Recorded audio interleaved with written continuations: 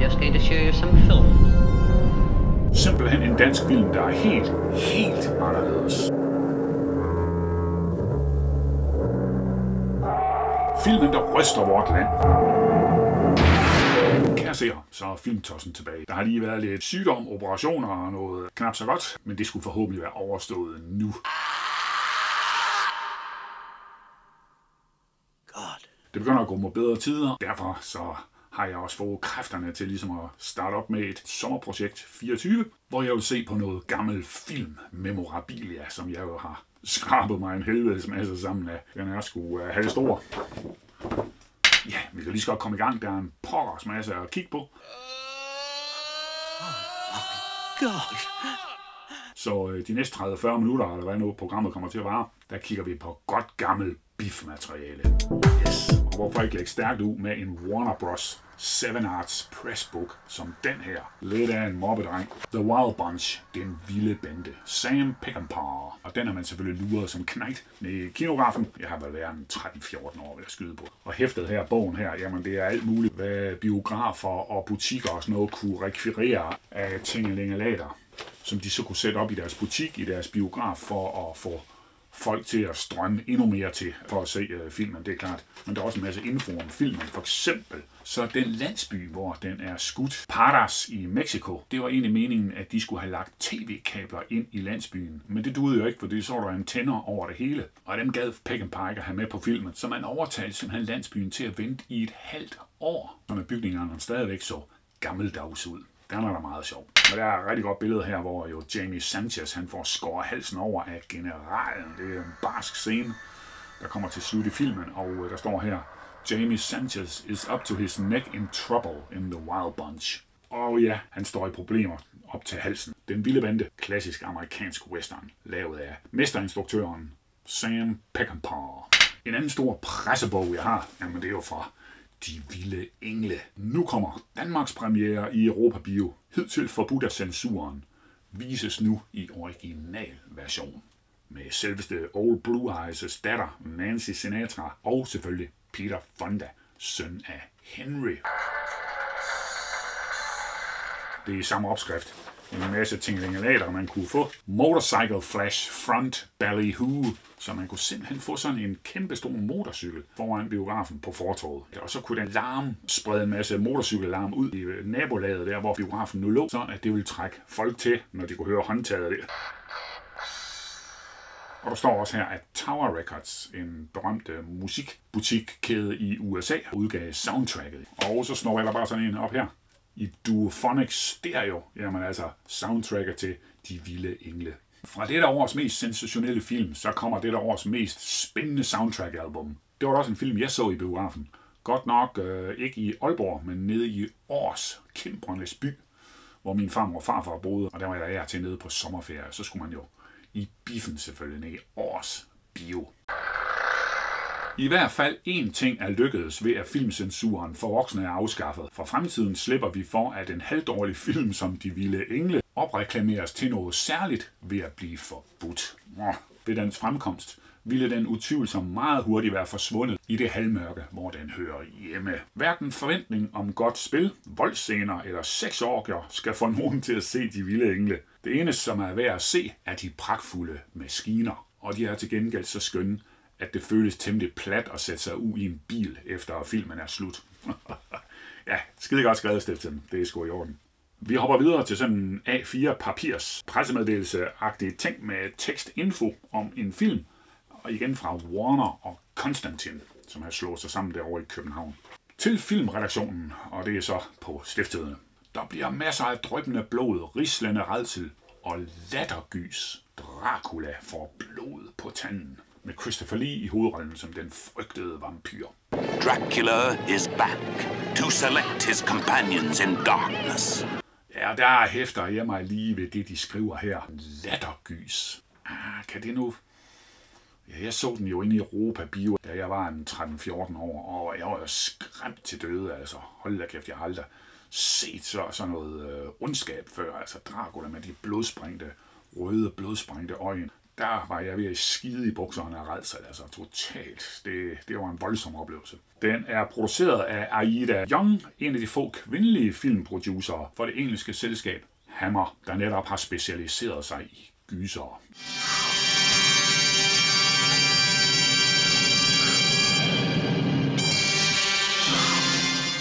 Stiftstiden har en lille omtale af filmen af samme dag, som den har premiere, og de skriver som overskrift, Draculas ofre er tre midaldrende mænd. det, det, ja, det kan man godt grine lidt af. Jeg ved sgu ikke, om der var noget lattergys i det. Eller jeg husker en trailer også af sådan en lidt fedladen fyr. Og ham har vi tit set i nogle tv-serier i England og, og film også. Der var sådan måske lidt komiker over ham. Han kunne sætte sådan et dumt, tyk fjes op. Der er ikke noget med ham i, i pressemeddelelsen her, som jeg selvfølgelig har. Det er jo klart sådan noget guf har man jo. Prepare yourself. Every nerve, every muscle. No. Rislende redsel, drøbende blod, kriblende chok i denne hårrejsende gyser. Christopher Lee er slet ikke så tosset som vampyren Dracula. Der er humor nok til det hele glider tvangfrit. Det var Kristeligt Dagblad, der var inde og se den. Okay, de går da ellers mod satan og djævle og vampyrer. The greatest shock of all. Øh, Der er nogle slaglinjer her. Der, der er sgu en, der har været hurtig her og skriver, at filmen er tandfastisk. Ha! Et ret godt leg med ordene, ikke? Også, i stedet for fantastisk, så er den tandfastisk og nervekrible-krablende. Dracula får blod på tanden. Jeg synes sgu egentlig, det er en meget god dansk titel, altså. Og selve plakaten er også med farverne og alt sådan noget, er jo fantastisk. Altså, det er virkelig helt suverænt godt artwork, der er lavet. Jeg har selvfølgelig også et bitte, et bitte filmprogram, det er klart. Ralph Bates er som også med, hold det fast, og Roy Kinnear, ja, ja, okay, det, det er vist ham endda. Roy Kinnear, det er vist ham, der er sådan lidt fedladen og, og lidt øh, fumletumle sjov. Fine sager. Just going to show you some film. Så skifter vi til en noget anden type film. En skøn film.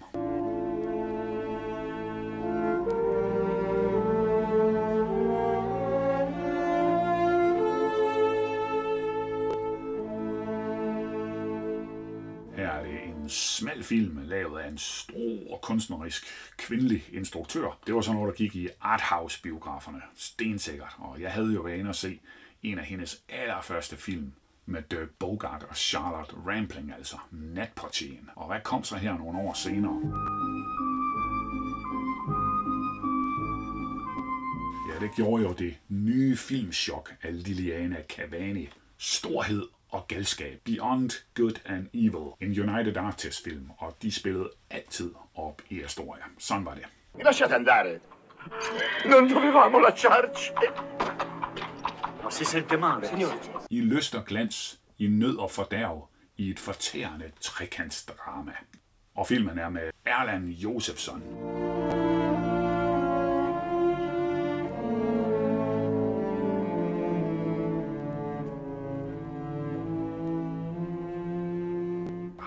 Mere sådan, der var et eller andet, når han optrådte i nogle film, så, så var det sådan kunstnerisk ophøjet. Det, det har jeg sådan på en eller anden måde fundet ud af, som, som 14, 15, 16 år. Jeg ved ikke lige hvorfor, men Susanne Brygger, god gammel dansk kvindelig forfatter, jamen hun skrev en skøn film.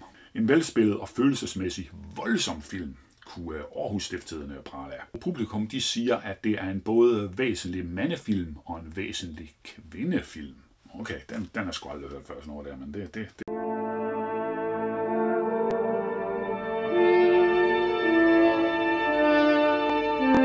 Efter Liliane Cavanis kontroversielle film Natportieren, så har hun valgt at beskæftige sig med filosofen Friedrich Nietzsches sidste leveår, fra hans storhedsperiode til hans endeligt i galskab, der var resultatet af eksperimenter med opium og den syfilis, han blev angrebet af som ung. Ja, det kan jeg godt forstå. Det, det er sgu spændende sager, som, som en ung gut som mig har været inde og se, og blevet tryllebundet og fascineret af det. det, det. Info fra United Artists. Der står lidt om Liliana Cavani. Hun øh, begyndte at dyrke sin lidenskabelige interesse for film som ung filmstuderende ved Roms Centro Sperimentale Filmskole. Hun sluttede sig senere til Rai Televisione som dokumentarjournalist og vagte stor opstandelse med sin serie Det Tredje Rige. Ja, hun har altid været fascineret af, af Nazi-Tyskland, altså, og det ser man jo også i, i natportenen, jo, så det batter til noget. Altså, Liliana Cavani var, var, havde mejslet sig ind i mig som et, et navn, der, der lavede film, der, der ville noget på en anden måde end De Vilde Engle og Den Vilde Bande og alt det der. Det gik også vildt til, helt sikkert, men Cavani, hun tog det lige øh, et skridt længere, helt sikkert. Stiftstiderne har en omtale dagen før, ikke også, og de skriver her, store slag i den tyske bolledej. Nu kommer filmen om den tyske filosof Friedrich Nietzsche. Det er en aldeles fremragende film, som der er et utal af gode grunde til at gå ind og se. Sådan. Get out of here. Så kommer vi til en engelsk film, som stiftstiderne tilbage i maj 72 anmeldte som veldrejet og rå. He lives in a quiet suburban street in London. Og det var jo oppe i Astoria, det foregik. En mesterlig kriminalfilm. Stærk fængslende og chokerende. Det skrev Astoria. Hvad skrev jeg i filmskrabbogen dagen efter at have set filmen? Ikke nok action. Forkert lavet. Sådan. En kæmpe stor professionel filmproduktion. Forkert lavet. Ja, det var lige øh, filmeksperten, der slog til der, som... Lad kæft. Godt gået, Lars. Who are you looking at? You are looking at the face of a villain. Og det var smæk til ham her. Richard Burton, som har hovedrollen her. Og i pressen skriver man det også, de vil have Richard Burton i rollen som den onde gangsterleder. Et infosheet fra MGM, lille brev til filmredaktionen, altså biografen. Richard Burton i skurken fra Londons underverden til overklassens sexverden. Okay, det, det er en helt ny slags rolle, Richard Burton spiller her. Helten fra film som Ørneborgen spiller nu en sadistisk gangsterleder, der spreder terror om sig i Londons underverden, når han ikke som kærlig søn kører sin gamle mor til Brighton, hvis søndagsværet ellers er godt. Morning, Mum. Brought you a nice cup of tea. Og hvis man skal tro på de udenlandske anmeldere af den her film, så Richard Burton, så fremstiller han gangsteren med så stærk virkning, at publikum fryder sig, da han endelig efter jagten på det forsvundne bytte bliver indhentet af retfærdigheden. Så han får nok sin bekomst der. Nu har vi læst en masse om Richard Burton og den der forbryderrolle og hans karakteristika, men stifttiderne i, i anmeldelsen, der tilføjer de lige et enkelt ord, som jo også siger en hel del. Det skriver udlandet ellers ikke noget om, og filmselskabet MGM heller ikke. Let's go. Men altså, prøv lige at høre her. Skurken er en veldrejet kriminalfilm, momentvis spændende og hele vejen igennem modbydelig ro. Men så kommer det så. De skriver om Richard Burton, at sandsynligt er hans homoseksuelle, sadistiske gangster ikke, men accepterer man filmen som ren underholdning, så løfter han den godt op over det niveau, de tilsvarende tv-seriehelte bevæger sig på. Så han er også homoseksuel. Der står ellers, at han er til smukke og villige piger og weekendfornøjelser på landet. Men altså, skurken, det er jo godt gammeldags ord, en skurk. Og det er også det, nogen af jer siger om Klaus Kinski, for eksempel, at han er verdens bedste filmskurk. Det er et godt ord, men, men det er sådan lidt bunderøvsagtigt. Så, så skulle alle Aalborgenser ind og se skurken. jeg ved sgu ikke, hvor godt sådan noget det er solgt. Det, det, det, det ved jeg ikke.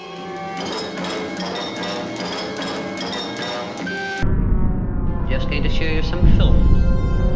Har vi et infosheet fra AS Panoramafilm til filmredaktionen. Udtrykket godt håndværk brugt om film er efterhånden blevet devalueret, fordi det ofte er blevet brugt om film, der i det mindste nogenlunde hang sammen. There's something in the fog. Men den amerikanske instruktør John Carpenter har i midlertid med film som Sidste nat på station 13 og Maskernes nat givet udtrykket det glans tilbage. I helt enige. Hans demonstration af, hvor godt godt håndværk kan være, har skaffet ham verdensberømmelse. Og han har skabt store forventninger både hos kritikere og publikum til denne hans kommende film. Og det vil være en skuffelse, hvis manden, der lavede Maskernes Nat, ikke kom med endnu en gyser. Men det gør han så også. John Carpenter's The Fog. Fordi den 7. april, anden påskedag, så er der premiere på hans nye film, Tone The Fog. Og den har jeg jo behandlet i de der programmer, der handler om stiftidernes anmeldere, især Lars Borberg, ikke også? Og der er jeg så så heldig at have sådan en sjov lille filmmemorabilia ting fra netop Togen, der den her premiere. Et overlevelsescertifikat. Det attesteres herved, at, og det er så den publikummer, der har været inde og se filmen, har overlevet de onde ånder, de umenneskelige redsler, de djævelske chok, de rislende gys og grusomheder, der alt sammen lurer i togen. Og at samme person er kommet ud af biografen med forstand og sanser grundigt rystet, men i behold. Yes, det er da sjov at have. 100 years ago, between midnight and one, something unknown came out of the fog. Fandme en god gyser, og Peter Johansen og jeg, vi så den jo også her for ja, halvanden års tid siden til en hjemmebif-oplevelse op hos ham, ikke også på Haunted House of Lydia Vej. Det var en fantastisk aften, hvor vi virkelig var helt op at køre. Den er fandme godt lavet. Rigtig godt skruet sammen. Udtrykket godt håndværk, det holder. The fog. What you can't see won't hurt you. It will kill you. Så sørger skal vi til en Danmarks premiere på en film nede i kinografen i Vejgaard, der hvor jeg altid kom i min barndom. Det var mit andet hjem, simpelthen. Filmen, der ryster vort land. Skynd dem. Begge disse film beslaglægges af politiet, når filmcensuren ophæves. 4. oktober 1968, der havde de jo så premiere på en, øh, ja, en underlig lummer dansk film. Der gik i hele 11 dage. Hmm, hvad kan det være for noget? En film, der har det hele. Crazy komik, dramatik, sanselig erotik. Simpelthen en dansk film, der er helt, helt anderledes. Jeg har jo også en et øh, infopresse her fra Panorama til pressen. Danmarks premiere på den sprudlende danske løsspilfarse Lille mand, pas på. Og så i parentes, pornobanden. Danmark har fået et nyt filmproduktionsselskab, og med premieren på filmen Lille mand, pas på, lægges der ud i løsspilgenren. Globefilm præsenterer her med sig selv og en hovedrolledebut, nemlig Kjeld Stanley. Udlejningen besørges af AS Panorama ved Just Betzer. Det kan med det samme afsløres, at Leo Madsen er direktør for Globefilm og har undfanget ideen til Lille Mand Pas På. Som bekendt har han masser af film og fotos bag sig i sexbranchen, og så er der nogle øh, kendte danskere, der er med som skuespillere. Volmer Sørensen og Christian Arhoff, de danner et par i stor agentstil som københavner og kriminalbetjente med tilnavnene Helgenen og Baronen. Ja, The Saint, Roger Moore. De har flere ubetalelige scener sammen og kommer med nogle brokker, der formentlig vil gå ind i det danske sprog til stor undring for senere retskrivningseksperter. Okay. Og eks-europamesteren Børge Krog tager en kamp mod ham der Stanley der i filmen. Det sker i en af, af denne Stanleys dagdrømme.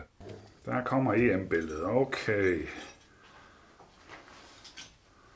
Det ser godt ud. Og filmen ville da heller ikke være en Leo Madsen-film, hvis ikke der var mange dejlige damer, frække damer, moderne damer, bare damer og lækre damer i mange scener. Lille mand pas på allerede ved at blive til i italienske og engelsk-amerikanske udgaver efter besøg fra det sydlige. En filmproducent har sagt god for den, selvom den på daværende tidspunkt var knapt halvt færdig. Og det er vist noget med, at der skal nogle sexscener enten tilføres eller fraklippes. Filmprogrammet her, Lille mand, pas på. Ja, der er vist uh, ham der Stanley der, han har vist på fået øje på et bryst. Uh, så er han helt forskrækket. Var jo noget med den film her, at øh, den blev censureret. Så når man var inde og se Lille mand, pas på pornobanden, så så man også ekstra, hvem sagde forarvet og der står så her, premiere i kinografen. Filmen, der først blev forbudt af filmcensuren og justitsministeren, vises nu ubeskåret i lydsiden med få censurkryds. Halvandet sekund, som fjerner man lige de billeder, og så står der censur. Skynd dem. Begge disse film beslaglægges af politiet, når filmcensuren ophæves. Så det haster. Fantastisk annonce i stifttiderne der fra kinografen. Den var stifttiderne ind og se. Bunden af noget. Men er dog en rusvort lige så er man lige opstået noget øh, ja, rod omkring Lille Mand, fordi det viser sig, at Lille Mand Pas På, den er jo Danmarks premiere inde i Citybiografen 26. januar 1968. Og da den så også havde premiere ude i kinografen 4. oktober 1968, 8-9 måneder senere, ja, der var det jo så, at Hvem sagde forarvet, den øh, halve times doku, den var koblet på Lille Mand Pas På. Og så var det, den havde fået, i parentes, pornobanden. Filmtossen klæb af roderiet. Bunden af noget. Lad os glæde over, at filmproduktion i vort land er en helt fri næring. Hver, der har penge til det, kan fremstille en strimmel billeder, og altså være heldig at få dem vist offentligt. Lad os også glæde over, at bunden med denne film er nået så tydeligt på året. Nu kan det ikke blive ringere. Okay. Just going to show you some film. Gælder det en pressemeddelelse, lavet på skrivemaskine tilbage i 60'erne fra Gloria-film Criterion Film International Pictures. Filmen, der er italiensk produceret, vises i engelsk version. Den er i farver. Det var rart. Instruktør Bob Robertson. Og så er der jo rigtig mange, der godt ved, hvad han er for en fyr, men der er også mange, der har tænkt, åh, Bob Robertson, ham har vi aldrig hørt om. What struck me most about Clint was his indolent way of moving. Og det er jo fordi, at det her det er den originale first release. Da filmen havde repremiere, så stod der jo selvfølgelig Joe, che qualche volta non aveva un dollaro per la sua sete. Sergio Leone på plakaterne. Clint Eastwood i den første, den største, den bedste. Og vi skal ikke dykke en masse ned i det. Jeg har før behandlet dem. Det er bare lige for at vise, at jamen, det har man sgu. Det er top samlerting. Møg svære at få fat på flere af dem. Ikke lige den her, som så man. De her ting fra de spaghetti westerns, der, der kom øh, der midt i 60'erne, det, det, hu, de er svære at, at få nallerne i. Det er en ny premiere. Det foregik i Palladium i København. My films are basically silent films. The dialogue just adds some wit. Og her har vi så first releasen. Den ægte var noget af det, der dur. Større end A3, pressemeddelelse. Fantastisk. Jeg tror ikke, der er nogen andre i landet, der har den her. Hans skyder var fyldt med dødbringende drops. Drops. Og ligekiste snekeren havde aldrig haft så travlt. En fantastisk spændende western om lynskytten fra prærien, der ene mand besejrer de lovløse. Det er den bedste western, jeg nogensinde har set, udtaler den kendte wester-entusiast. Og det er helt vildt tosseskrevet PH. Og var det ikke ham med diverse designer, lamper og stole og borer og sådan noget? Dødberømt dansker.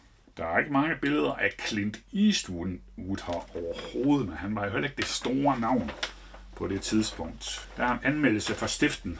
Det er synd for ligekistesnækkeren i den meksikanske grænseby San Miguel. Hidtil er hans forretning gået i strygende. Men ved slutningen af denne film, en nævefuld dollars, så er man klar over, at det vil vare meget længe, før han får flere kunder. ja, skide godt. Selvom der er langt fra Mexico til øh, Frankrig, så kan man ikke helt lade være med at tænke på Lemmy-filmene, når man ser nævefuld dollars. Eddie Lemmy Constantine var jo et af de helt store navne, fordi Bob Robertsons western og, og øh, Lemmy-filmene har nemlig en intelligent humor til fælles. Filmene får alt, hvad de kan tage, og man morer sig dejligt. Det er skrabe sager at have i samlingen. Huha. Just going to show you some film. Dernæst kom jo så selvfølgelig Hævn for Dollars.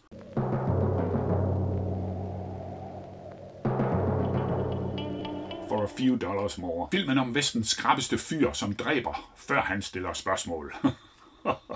Serien, som vil slå agentgenren ud. Læg mærke til Clint Eastwood. For ham vil de høre meget mere til fremover. Ja, det var en god forudsigelse, helt sikkert. Well, such a big reward being offered on all you gentlemen that I thought I might just tag along on your next robbery. Den hårdkogte type Clint Eastwood spiller, altså morderjægeren Mongo, ja, han har sin vante overlegne ro. Gian Maria Volonte har skabt en fængslende præstation som den dynamiske bandit Indio, og Lee Van Cleef tegner som den tredje i billedet portræt af en intelligent gunfighter, der nøje beregner en hver af sine handlinger. Det er heller ikke sådan en, man lige får fat på. Og den, jeg har taget frem her, det er sådan noget, jeg godt kan lide. Det har været anvendt, det har været brugt ude i biografen, fordi øh, jeg kan lige se, at Henning Helimar, han har stået og skrevet på den her. Skala Bio, midnat fredag den 30. i 10. kl. 23.00. Der har den spillet, så det er helt suverænt. Seks skud for hoften, og der er 12 mand færre. Bravo. Pisse fede billeder af ham. Han ser rigtig bister og kynisk hård ud. Klar til at dræbe. Det matchende lille filmprogram, som ikke er så svært at få fat på, som, som for eksempel i pressemeddelelsen var. Og jeg kan huske, at som knæk, der havde jeg fandme plakaten hængende inde på mit drengeværelse. Min far havde noget malerarbejde ude i Skala Bio og fik nogle plakater af Henning Elimar. Ja, den gode under en grusomme havde jeg også. Mange år senere blev lortet væk. Jeg havde det hængende op på væggen sammen med hav andre øh, fede plakater ærgerligt, den er blevet væk, for den, den er møg, møg svær at få fat på, den øh, plakat her. Huha. Så kom jo den her hele aftensfilmen med det helt store budget. Sergio Leone havde virkelig overbevist altså Hollywood-producenterne om, at de kunne godt sparke penge i ham og Clint Eastwood var villig til at fortsætte, det var Lee Van og så fik man Eli Wallach med ombord. Er der et pletskud i Clint Eastwood-serien? Ja, det var jo en serie. og de kunne slå agentgenren ud. Wow. BT skrev, brav og hårdt slående underholdning med masser af blod. Men det meste af tiden med det anstrøg af humor, som gør løjerne acceptable. Nå, snak, men okay. Aktuelt skrev, og her er lidt et nyt udtryk, en western velsignelse. Clint Eastwood er tilbage, hænderne op af lommerne.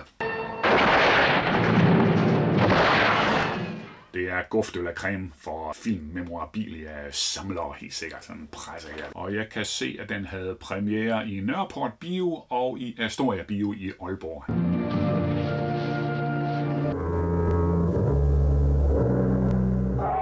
Den næste helt store Sergio Leone-film. Well, it was a Sergio Leone picture, which is uh, the Italian spaghetti western man. Uha, vestens hårde halse. Nu uden Clint Eastwood og Lee Van Cleef, men med Henry Fonda, Charles Bronson, Claudia Cardinal. Fistful of dollars, few dollars more, and so on. Anyway, I, I did one of them. And I was the flat out, flat out heavy. Henry Fonda, han er en ledkal i den her film. Uha, myrder også børn og alt muligt. And in the midst of this happy thing, suddenly there is a shot from off screen, and the girl spins dead like that. And the father looks like this and looks up, and there's another shot, and he spins dead. And then the son, another shot, he falls off the wagon.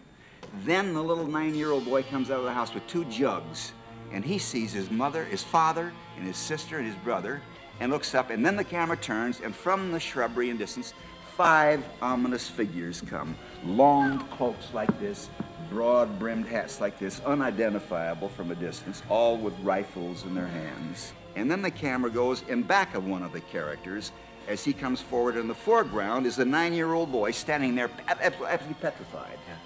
And as he comes to a stop, the camera goes like this. This is the character. And Sergio, the director, was imagining the audience. It's Henry Fonda! Det er fede sager. Umuligt at opdrive sådan en pressemeddelelse her, men øh, uh, filmtossen klarer den slags. Der var tre mænd i hendes liv. En, som ville tage hende. En, som ville elske hende. Og en, som ville dræbe hende. Ja, det er jo Claudia Cardinal. Øh, søn at slå hende ihjel, men uh, mm, raffineret og blodig Vestern. Ja, de bliver ved med det der med blod. Der er ikke en skid blod i den, altså. Ja, der er en, der får skud i øjet på et tidspunkt på, på en togvogn og sådan noget, men altså, ah, blodigt. BT de skriver også her, det er en fornøjelse at se Henry Fonda som en gennemført modbydelig person. Det er en ond film, som gør indtryk. Ja, ja så den om Charles Bronson her. Han spillede mundharmonika, men seksløberen sad løs i pistolbæltet. Det er sådan noget, man skal have i samlingen. Det er dutter. Just going to show you some film. Det er jo ikke Sergio Leone, det er en af de andre Sergio'er, dem er der jo 3-4 stykker af, Corbucci. Fordi i 1966, så var Franco Nero jo for alvor på banen. Det var ikke det, hans debut. Det var i hvert fald gennembruddet, det må man sige. Django, Vestens hævner. Den stærkeste western, der nogensinde er vist i Danmark. Totalt forbudt i de øvrige skandinaviske lande. Og her bliver sgu myrdet løs. Altså, det, det er voldsomt perverst, det her voldsopbud. Altså. Og der er også en barsk scene med øret, der bliver skåret af. Django, et navn, man aldrig glemmer. Fantastiske sager at se på. Det er endnu mere fantastisk at have den i samlingen. Det er muligt, at denne film vil blive kaldt rå, men man kan alligevel ikke slippe den. The title of a film you'll never forget. På grund af filmens særlige karakter er den forbudt for børn under 16 år. På grund af den særlige karakter. Ja, det ved jeg ikke. Der var jo hav af film, der var forbudt for børn under 16. Så det var en noller at skrive sådan noget med, at Åh, totalt forbudt i de andre nordiske lande. Og så den forbudt for børn under 16. Django. A new, ruthless, violent film. Franco Nero, et nyt stort italiensk filmnavn som Django. Og et nyt bevis på, at Italien i dag laver de bedste westerns. Det er ikke løgn. Nej. Fremragende sager. Just going to show you some film.